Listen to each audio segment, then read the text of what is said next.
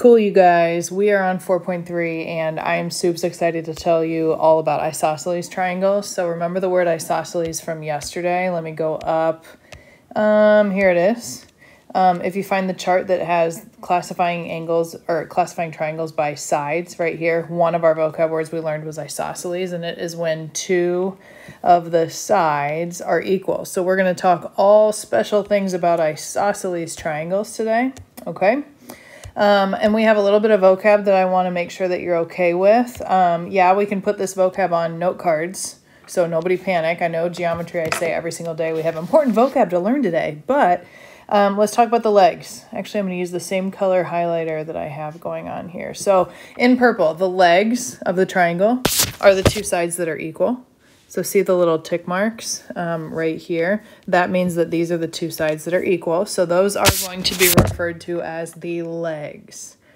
Okay, now the base is the side that is not equal to the other two. So the other ones, okay, like simple enough, whatever. We call the two sides that are equal the legs, and we call the other one the base, okay? And so if you're okay with that, you should be okay, hopefully, with these things called base angles. Angle B and angle C are the angles. Remember the difference between an angle and a side. This, my friends, is a side. It's one of the sides of the triangle. And then the points, if you will, this is one of the angles, okay? It's called letter B. Letter B and letter C are um, base angles because here's the base.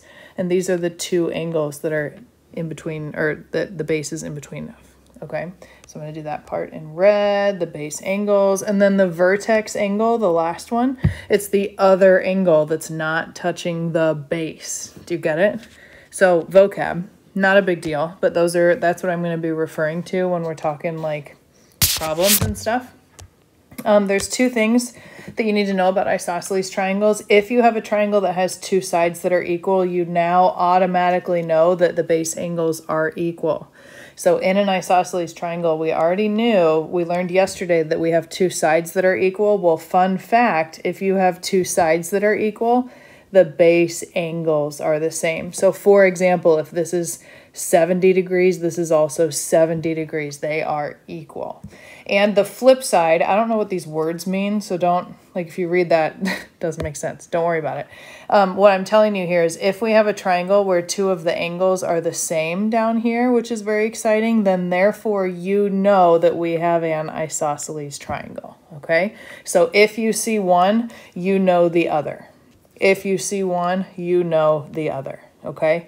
They go together in isosceles triangles. You have two sides that are equal. You also have two angles that are equal, the base angles. Remember this vocab word is the base. That's why these are referred to as the base angles. And don't be confused if I want to take this triangle and flip it upside down okay? Even though the base is down here, if I flip the triangle upside down, you can take your paper and turn it over.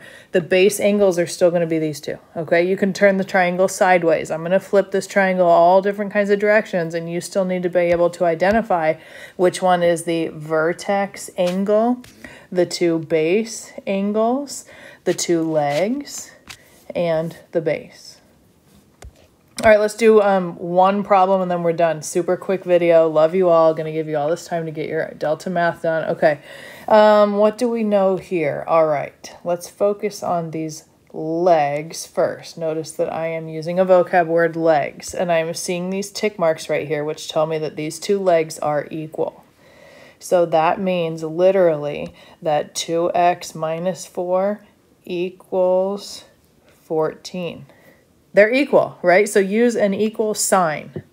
In math, if you know that this side equals this one, then that means you put an equal sign in between them. Think of that word equal. That's what these tick marks mean. So I'm going to write 2x minus 4, and I'm going to equal it to 14. Nothing about 90 degrees, nothing about 180 degrees. That is talking about angles.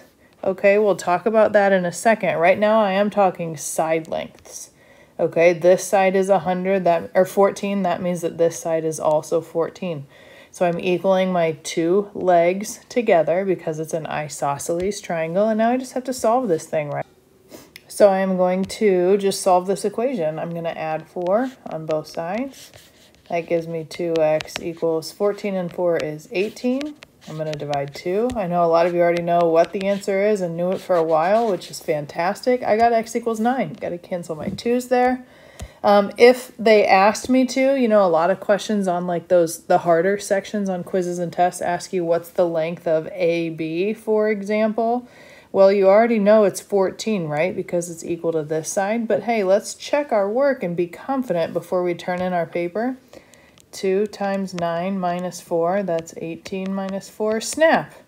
I think I did it right because that shows me that this side is 14 and I already knew that this side is 14. Okay, now let's talk about the measure of angle B. Let me get rid of this so that I can focus my attention.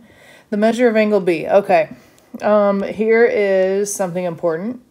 Remember we talked about how if you know that these sides are equal, that means that these base angles are equal. Snap, I'm going to write 65 here.